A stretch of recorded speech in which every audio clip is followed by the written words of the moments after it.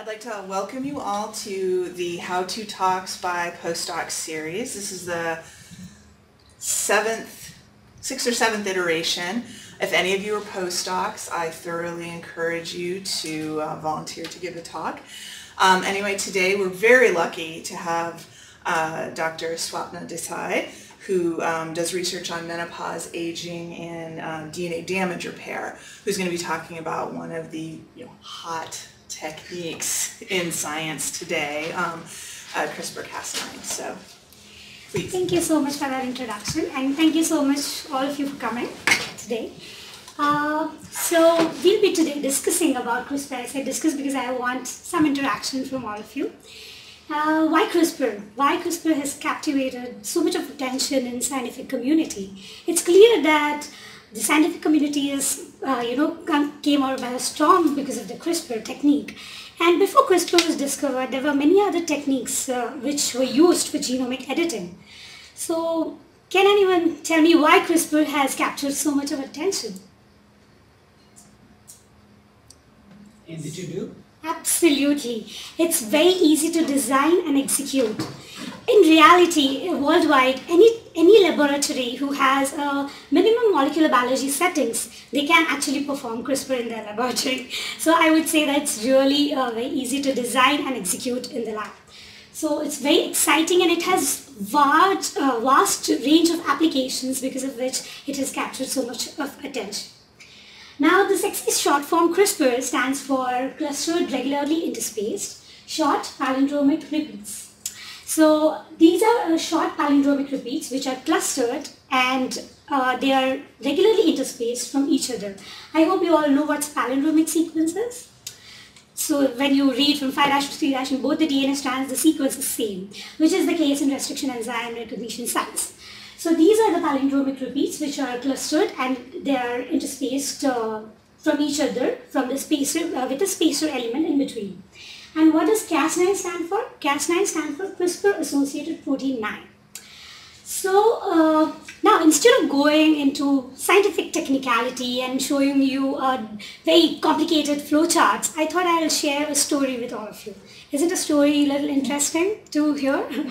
So let's see uh, the, the discovery of CRISPR, who are the heroes behind uh, this discovery. This takes us back uh, almost two decades. In 1993, um, in Spain, Francisco Mujica will, has joined uh, a laboratory as a graduate student and his main aim was to see, I mean, study archaeal microbes and why they, are, they have extreme salt tolerance in them.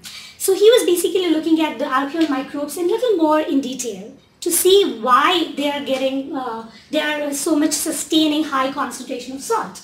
While doing that, he observed short regularly spaced repeat sequences, which he named that time as SRSR sequences.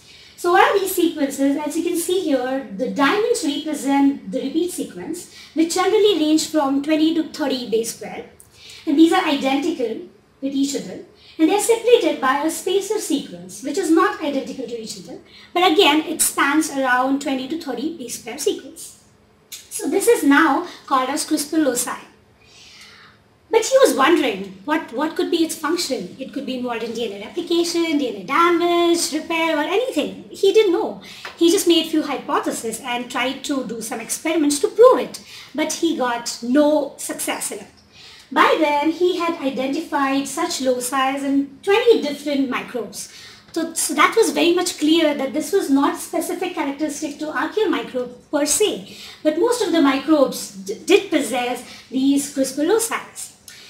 So uh, in between, he moved to Harvard for postdoctoral fellowship and he came back uh, to Spain and he started his own laboratory. And since he was starting up his uh, laboratory, he chose bioinformatics tool to understand what's going on with these loci. So what he did, I mean, he was frustrated clearly because he couldn't understand the function of repeat sequence. He, uh, he thought of switching the gears and focusing on spacer sequence. Okay, so what am I going too fast? Just tell me, like just interrupt me and just tell me you're just going too fast. I'll just lower my speed in between. So uh, what he did was he actually cloned these spacer sequences and he sequenced them. around 4,000 to 5,000 such sequences he actually cloned and sequenced. And what he did was he started blasting them in the DNA, DNA databases which were available that time. Now we're talking about the time uh, in around 2003 where Human Genome Project was getting almost completed. So DNA databases were getting updated day and day out. Almost after chewing up 4 to 4, 5,000 sequences and blasting them in the database one day, he found out that one of the spacer sequence in a particular strain of E. coli actually matched with the P1 sequence. And what was interesting to note that this E. coli strain was resistant for this P1 infection. So that's where he realized that, oh, this CRISPR might be involved in something to do with immunity against the viral inf infection for bacteria, like restriction enzymes work. I am sure you guys know what the function of restriction enzymes are. With a great difficulty, he tried to publish his paper. He sent his work in Nature because he wanted to like without any delay, he wanted to publish his work. So he sent it to Nature, Nucleic Acid Research, such high impact factor journals, but they clearly rejected it on the basis that it lacks importance and innovation. Imagine. So please don't get disheartened if uh, your paper gets rejected from any journal. That's the history, so it happens. So with uh, great difficulty and struggling for 12 months, he managed to publish his work in Journal of Molecular Evolution in February 2005. So while all this was happening, there were other scientists uh, in 2002, Jansen et al. What he did was he started looking at the DNA sequence proximal and distal region of this CRISPR loci. And what he found that uh, almost in all the CRISPR loci, the 5' uh, region of this loci, there were the gene sequences which encoded for the nuclease, DNA nucleases, uh, enzyme proteins. He named it as Cas, Cas proteins. And by now, like by 2016, we know that there are different four type of Cas proteins which we know, uh, which, have, uh, which have different characteristics uh, to them. I won't go much in detail uh, right now. I would tell you uh, about it uh, in coming slides. But the most abundant Cas, Cas protein which is used for CRISPR as such in the, in the lab is Cas9 nucleases.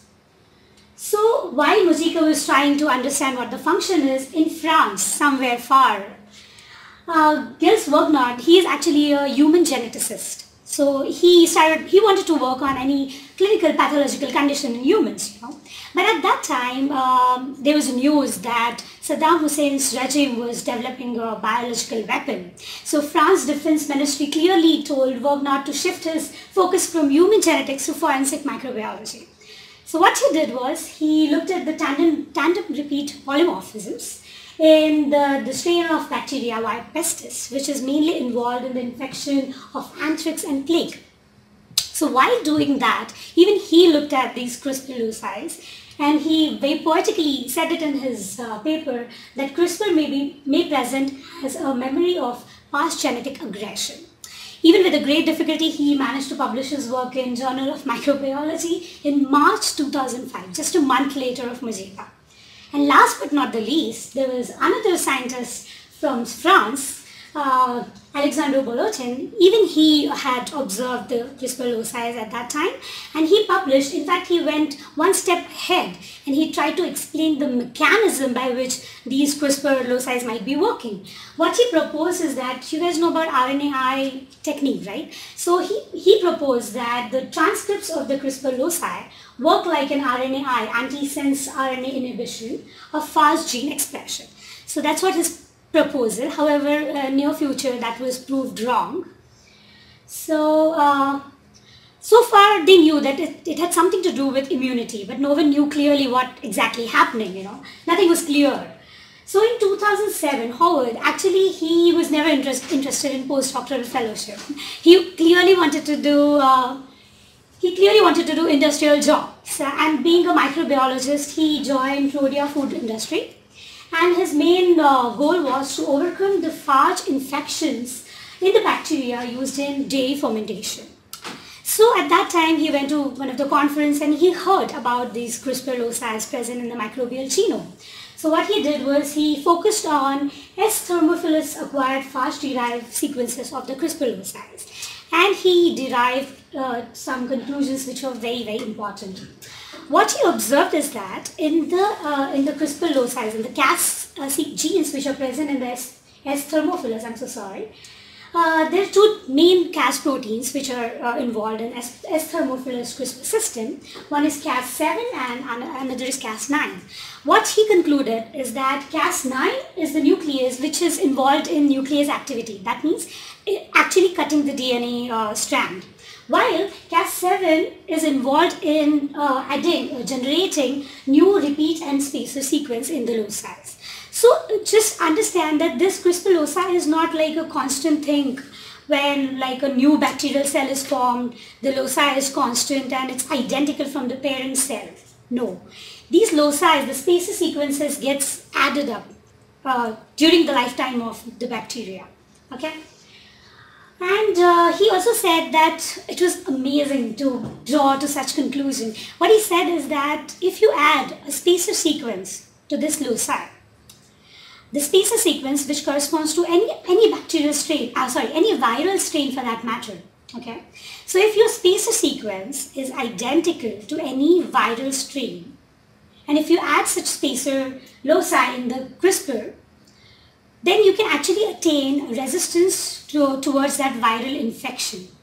So that was very, very like commendable uh, experiments, I think I should say. Because just imagine the applications for it. You know a particular strain of bacteria which is not resistant for a viral infection and you're using it for dairy, dairy fermentation or any food industry for that matter. And now you, you, can, you can generate a bacterial strain which will have resistance to n number of viral, infections. That had holded a lot of potential at that time. And he also said that the sequence of spacer DNA should identically match with the viral DNA uh, sequence. If there is any mismatch, then the CRISPR won't work efficiently. So these were his conclusions. So let's look at the steps. How does it work in bacterial cell? So when bacteria encounters a viral infection, the viral DNA enters bacterial cell bacteria very smartly takes uh, some of the DNA uh, sequence of the virus and puts it in the CRISPR loci and makes CRISPR uh, RNAs uh, uh, on the basis of that spacer sequence.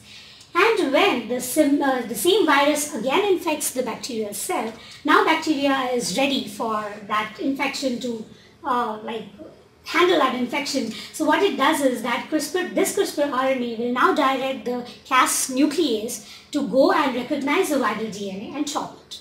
So that's how it acquires innate immune, immunity against the viral infection.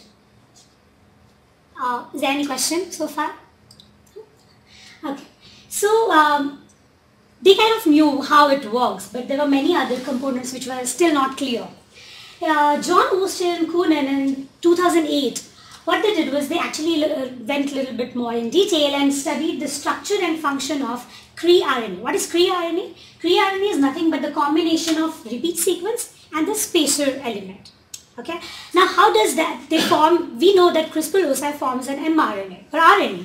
We don't know how the structure of it is, how it is formed. So they they concluded that the cRNA starts with the 8 base pair repeat sequence of the spacer uh, sorry, of the repeat sequence. So 8 base pair of the repeat sequence followed by the spacer sequence and the beginning of the next repeat sequence so that it can form a secondary structure. As you know that the secondary structure is more stable than the normal uh, linear structure of mRNA. So that's how they form uh, the structure that's called as cRNA and he said that the CRISPR-based immunity is like a flu shot for bacteria. So, uh, however, till now, they had no clue that this CRISPR targets what? Does it target mRNA of the virus or does it target viral DNA itself? We were not, no one was clear about it by 2008. So, uh, and Marafini, they performed a classical experiment what they did was, now I just want to like give a little background about this experiment. What they did was they took a plasmid DNA which had NICUS gene in it, N-E-S they call it as. Okay, NICUS gene which is a target for the CRISPR system in a particular strain of bacteria. Okay, so what they did was they actually incorporated the self-splicing intronic sequence in, in middle of the gene NES. Okay, so the whole concept was that if the CRISPR targets RNA, okay, then even if you add a self-splicing uh, sequence in the DNA, it shouldn't matter because after transcriptional modifications, the mRNA should still be intact and it should just get recognized by the CRISPR system and can should uh, you know inhibit the nickase gene expression, right? But if the target is DNA, then the CRISPR won't recognize the spacer and it won't target and the gene expression will be still on. And what they actually observed was that the, the target was DNA and not RNA. So CRISPR was a programmable restriction enzyme. The way restriction enzymes work, they actually target DNA and they chop the DNA uh, off. Similar way even this works.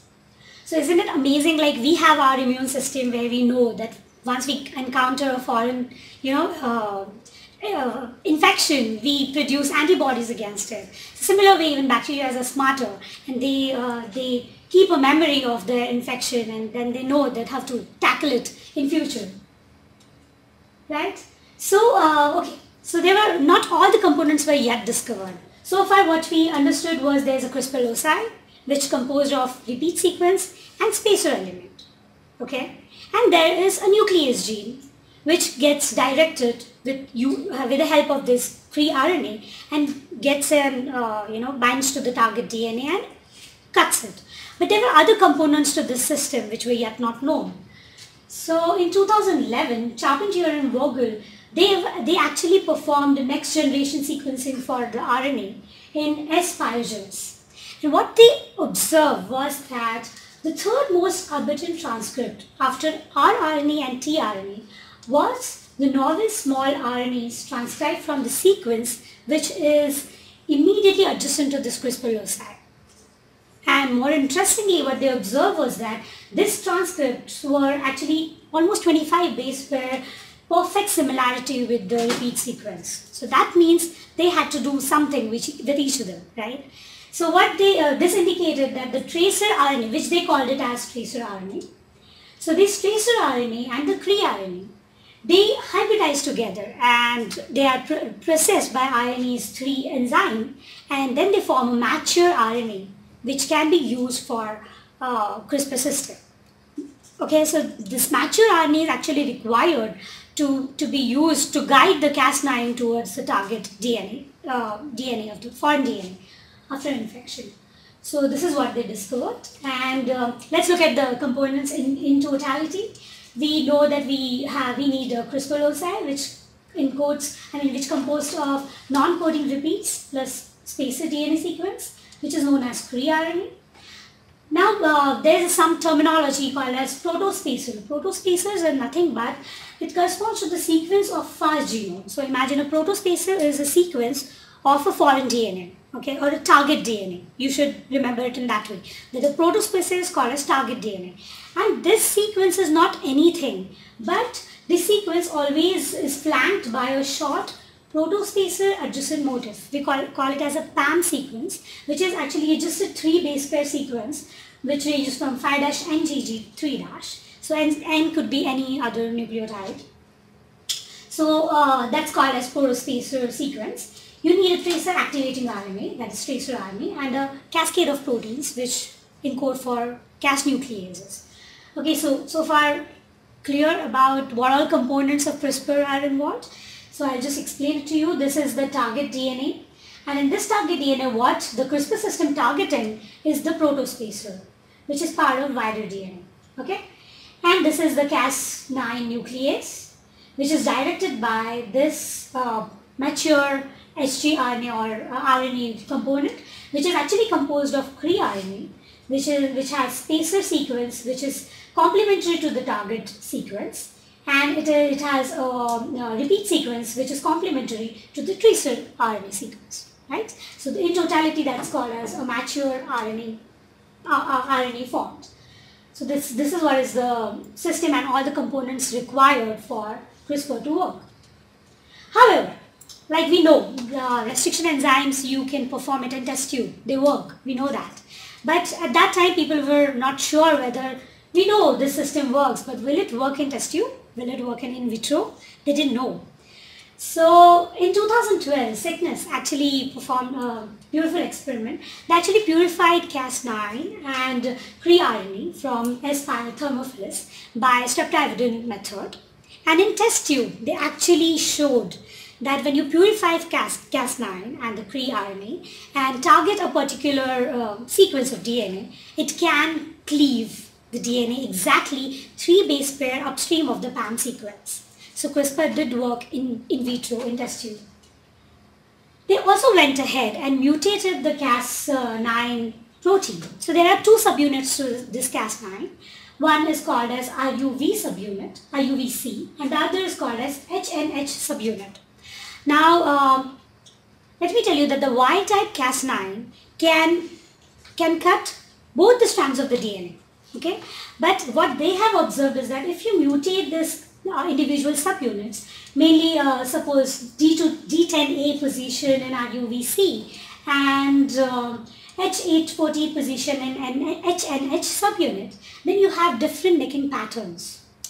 For example, if you have a mutation, mutated uh, Cas9 at D10A, that's called as Cas9, Cas9N uh, nucleases, then it would cut the target DNA complementary to the cRNA. Okay? But if you have another mutant version of Cas9, then it actually cuts the DNA at the opposite strand of the target DNA. That this holds a lot of potential and now people know why. Because imagine if you have if you're using wild type Cas9, it will just cut both the strands of the DNA. So uh, the amount of indels that can be formed after using this system would be more. Now if you have a single nicking, it's very precise position, then that would create very precise uh, genomic editing tool, right? It's not random, it's very precise. So that's how it holds a lot of potential. And of course, Charpentier and Jennifer Doudna, I'm sure you must have heard her, their names. Uh, why they got so famous? Because they came up with a concept of sgRNA which is nothing but a combination of cRNA and tracer RNA. Now that's not new, but what they did was they actually made a made the whole CRISPR system available in single vector. You have Cas gene encoding for Cas9 protein. You have gene encoding for tracer RNA. You have all the tool required for cRNA, and you can actually clone your desired sequence which you wish to target in a in a vector. So which was which really made it easy to work in any any laboratory setting. What you had to do was just to design your your target sequence, you, uh, then uh, just incorporate that sequence in this vector and use this vector for for genomic editing. So that's the reason they got so famous and um, it really made a lot of difference because the applications and the the user-friendly uh, uh way of doing CRISPR was made available by them. So we should actually thank them for that. But there was a big if. So people knew this works in vitro, it works in, in test tube. But things which work in text, uh, test tube and things which work in microbial cell, bacterial cell, does not mean that it will work in any cell type, right? Plant cells, mammalian cells, stem cells. No one knew whether this system would work well, as precisely as we observe in bacteria, but would it work as precisely in any cell type for that matter? No one knew. So um, I want to just share one story of Feng Zhang. He is a pretty famous scientist and uh, very famous for CRISPR discovery. What um, at the age of 16, he started working in the in the gene therapy laboratory. And um, he initially uh, graduated from Harvard and then uh, right now working as an independent scientist in MIT. He is even a founder of AdGene. So um, he, he was going to go for a conference in, to Miami, okay? A day before he was going to fly, he met one of his colleagues who introduced him to this CRISPR technique. At that time, it was not that famous. There were just few papers coming out and people were not like really aware about this technique. So he got introduced to this technique uh, with one of his fellow, uh, fellow friend and he got so excited that he, he went to Miami, but he never went to conference. He just locked himself in a room and he literally chewed all the literature possible which was available at that time on CRISPR in a, in a night's time. He came back to his lab and just performed a simple experiment in HEK cell line and he was the first to show that this system works in mammalian cells too. What he did was he just targeted GFP, GFP uh, protein encoding gene. So imagine you have a plasmid which has GFP gene and you have a CRISPR system which will target that GFP gene. Okay, so he transfected uh, such construct in a HEK cell line and he observed that after CRISPR activity, the, the signal for GFP was actually reduced. So that clearly indicated that CRISPR did work. And uh, uh, George Church is again his uh, senior, even he performed many experiments in stem cells and different cell types to confirm that CRISPR indeed works in any cell type possible in the world. I mean, there's so many papers by now that I can probably say this, that it, it is possible in any cell type. What they, uh, they, they suggested that when there is any nick, whenever there is any nick in the DNA in mammalian cells, there are two different type of DNA repair pathways which gets activated. One is non, uh, non-homologous end joining and other is homologous directed uh, uh, uh HDR recombination, right? So what he said is that uh, if you introduce CRISPR and if you introduce NICs, then the NHEJ will get activated most abundantly and it might result in indel mutations, some of the deletions or insertions, you know, the event would be random. But as we know that there are thousands of people which propose and claim that there are single nucleotide polymorphisms or single mutations which are clearly associated with uh, clinical phenotype. So if you want to study such mutation, you, you want a precise change. You don't want any indels or any, any mutations anywhere, right? You want to make a model which will exactly mimic the clinical condition. So for that, he proposed that while doing CRISPR, if you introduce uh, ssODN, single-stranded or, or oligodeoxynucleases or double-stranded DNA uh, as a template for homologous recombination, then it can actually drive, it can push it to go to HDR rather than NHEJ pathway. So that was very important, uh, important message. So let's look at the workflow, how to do it actually, how to perform this in, in the lab. What you have to do is first you have to design your sgRNA. You're, you're looking at your target gene. You have to design your sgRNA, clone it in a construct which has all the possible other components required for CRISPR. Then you have to transfect that uh, construct in cell lines and check whether CRISPR activity is there or not. It's working properly the way you want, you desire or not. Once you confirm that by survey assay, which I'll come to it uh, soon, what it is, you can expand these clones uh, which, which possess such uh, specific genetic editing, expand these clones and then use it for your experimental purpose. This is about cell lines, but if you want to generate mouse models or any other models, you can directly inject all the components or even the plasmid construct in mouse embryos at two cell stage and then uh, you know allow them to grow ahead and then do genotyping and screen for your desired uh, mutation in the in the any model system for that matter. And uh, people have used stem cells uh, for generating a particular uh, genetic gen genomic component of a clinical phenotype. So uh, Zhang has also proposed. Now any any technique is not foolproof. Every technique has some limitations, right? We know that uh, these sgRNAs, okay, I'll just show you. These sgRNAs look like nothing but like a primers, right? And we know that primers can go and bind anywhere. They're just 20 base pair, 20 to 30 base pair sequence. So in the whole genome, they would have many other binding sites, which might be, you know, differing just a base pair uh, from each other. You know, you know what I mean? Are you guys with me? If, if they're out of 30 base pair, if you have few base pair changes in your sgRNA with the other off targets, then your sgRNA can actually go and bind to some other target which is you, you're not desired of and can cleave the DNA at that position which you don't want, right? You don't want any off targets. So to combat this problem, how to deal with it, they came up with the idea that instead of using one, one sgRNA, you can use pair of sgRNAs which are separated from each other around 20 to 23 base pair apart And uh, by doing so, the, the specificity increases a lot. What they showed it is that uh, if you use a Nikiz type of Cas9, which I just explained to you, a mutant form of Cas9, and if you use two different uh, sgRNAs, then your off-target actually like goes down to 0% as compared to using wild-type Cas, Cas protein and a single sgRNA system.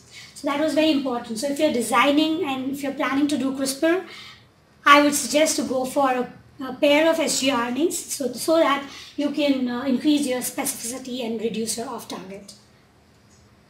So uh, yeah, have to have to see whether CRISPR has worked or not. There is a survey assay. So before that, let's uh, look at how you design your sgRNA. So for designing sgRNA, again, Zhang et al. I mean, their group in MIT, they have uh, made this software available for free uh, to use for anyone. What you have to do is just put around 200 to 250 base pair of your DNA of interest, the target DNA, into the software and just tell him to give you the combination of sgRNAs. And they give you a score which will indicate like how good, how the how best the uh, activity would be and uh, they even give you a combination pair and how many off targets you can get. Where off targets could be mostly probably you know there. So if you want to screen those off targets once you generate your mouse models or any other models you can do that too. So this software is very very uh, user friendly and very important easy to use so once you design your sgRNA, you, you just have to clone it in a vector, maybe, you know, which will have a bleomycin or GFP tag to it, so that using that uh, tag, you can sort the cells after transfection. So once you clone it, you sequence verify it, and you transfect in any cell type you wish to, and then screen for the CRISPR activity by Surveyor assay. Now what is Surveyor assay?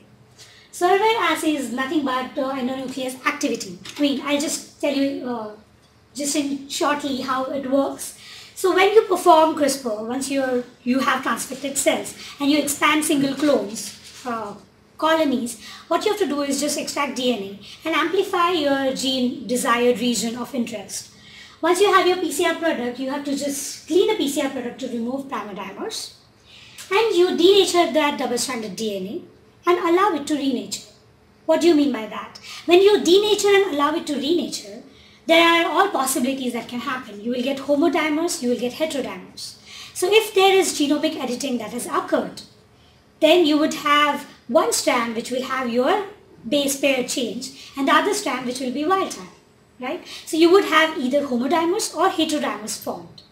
And when you treat such uh, such double-stranded DNA with endonuclease, it, will, it can actually identify a single base pair change and cut it in such a way that you would get different band size uh, sizes of bands and which you can just easily check it on Agarwal's gel. So you know your PCR product size. Other than that, if you get different, you know, base pair, uh, different sizes of the DNA bands, then you know where exactly your CRISPR is cutting and how precisely it is. How, do you have any other off targets or not, right?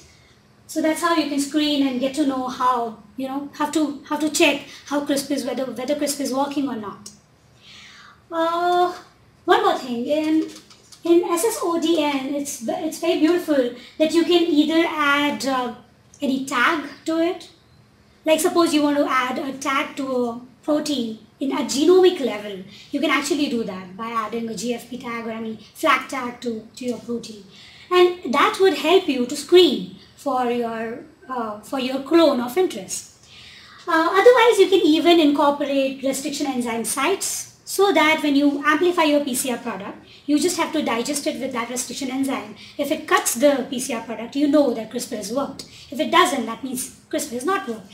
Okay, so there are many different ways by which you can actually select your clone of interest and there are many ways by, by which you can sort the cells from the CRISPR activated and unactivated cell types. So where are we? Uh, there almost every day there are 10 to 15 papers which are getting published in this field. It's very, very difficult to cover each and every topic, uh, the upcoming details about this field. But I just thought uh, to incorporate this um, recently published paper in Nature Biotech where they say actually that if when you're designing SSODN, if you design in such a way that your cut, this zero stands for cut site. The cut site is exactly 3 dash upstream of the PAM sequence. Okay. So while designing your SSODN, if you design in such a way that the, the proximal region extends to around 91 base pair and the distal region, region, region from the cut site uh, aligns up to 31 or 36 base pair, that actually gives a maximum chances to go for homologous recombination. So that will enhance your chances of your, uh, your template DNA to get actually incorporated and get your desired mutation in the genome. So there are many techniques, many uh, applications which are coming up every day. So this is just one of the one of the and they even say that when you're designing SSODN, see to it that your uh, donor DNA is complementary to the non-target strand uh, uh, of your interest. So you know what, what the non-target strand is, right? Your cre-RNA will go and bind to a target strand. So your SSODN should be actually complementary to the non-target strand. That means it should have the sequence of 5' to 3' the target strand. Am I getting it or is it like a little confusing? I know it's confusing. Can I use it? Yep. Okay. Uh, so you have 5 dash to 3 dash and 3 dash to 5 dash double stranded DNA. This is your target DNA. Okay. I have designed, so I, while going to MIT software, what I gave was two, 250 base pair sequence from 5 dash to 3 dash orientation in the software. Okay. And I've designed uh, my sgRNA pair. So one of the sgRNA will, will be complementary to this sequence, which is actually 5 dash to 3 dash. So it will go and bind here. And it will make a nick either at this position or at this position depending upon which Cas9 you're using. So what they say is that if you use a Cas9 end, which actually makes a nick over here, then just imagine that when the CRISPR, uh, CRISPR will come and make a nick, then this part of the DNA will be, you know, will get chopped off. So you will have overhangs and if your SSODN is complementary to this sequence, then it will be easy for it to recognize and bind.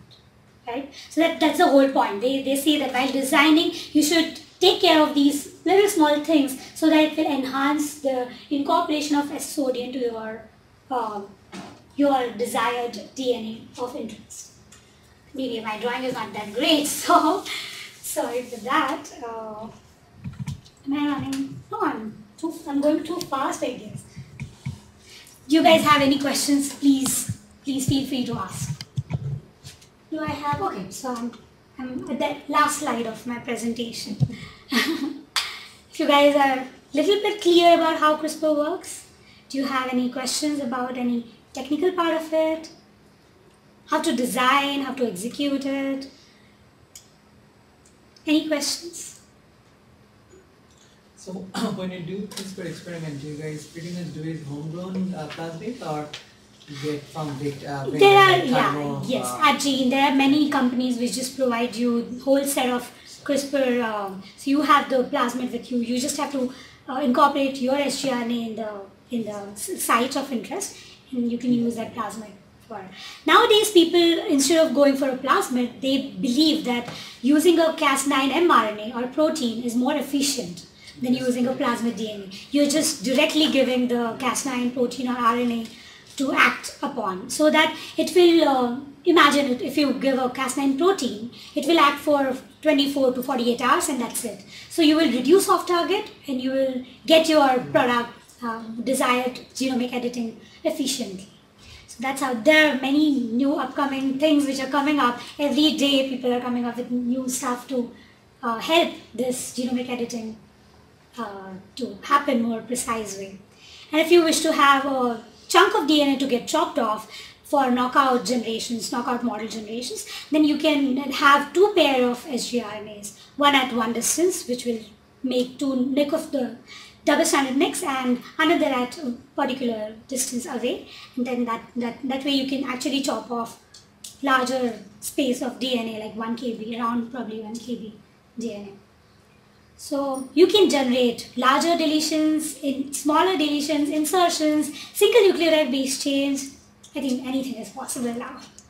And yes, of course, I should mention that not just one target. People have come up with technique where you can actually target more than 10 to 20 different sites at one go. Just transfect once and you get desired changes at multiple locations if your sgRNAs are that specific. So you can you can do many things with CRISPR. So any other questions? Sure? You know everything? Then I can then I can ask you something. okay. So uh, applications it holds enormous potential for next generation editing or therapy, and um, it has it although it has a lot of potential. The problem is it can disrupt the ecosystem. We know that they now are talking about genetically engineered human babies, which is more scary. I feel while going towards this. Uh, application, every scientist should be cautious about what genetic change they are doing and will not whether that change will not have any uh, deleterious effect on the ecosystem and the environment in which we are living in right so that's the very important thing that's the reason i think jennifer doudna had announced a pause for the you know usage of crispr in various fields Thank you. So since time is there, I don't mind showing you guys just. And match it to its target RNA. Which will just give you an overview of if you missed out anything.